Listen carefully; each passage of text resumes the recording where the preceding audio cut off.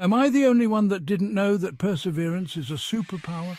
Trust me, this is going to blow your mind. Think about Thomas Edison. He failed a thousand times before inventing the light bulb. He said, I have not failed. I've just found 10,000 ways that won't work. Now, that's perseverance. Remember J.K. Rowling? She was rejected by 12 publishers before Harry Potter became a worldwide phenomenon. Talk about magical perseverance. And let's not forget Michael Jordan. Cut from his high school basketball team, but he didn't give up. He said, I've missed more than 9,000 shots in my career. I've failed over and over and over again. And that is why I succeed. So, next time you're facing a challenge, channel your inner Edison, Rowling or Jordan.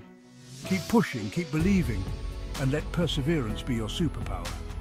Remember, success isn't about never falling. It's about getting up every time you do. You got this.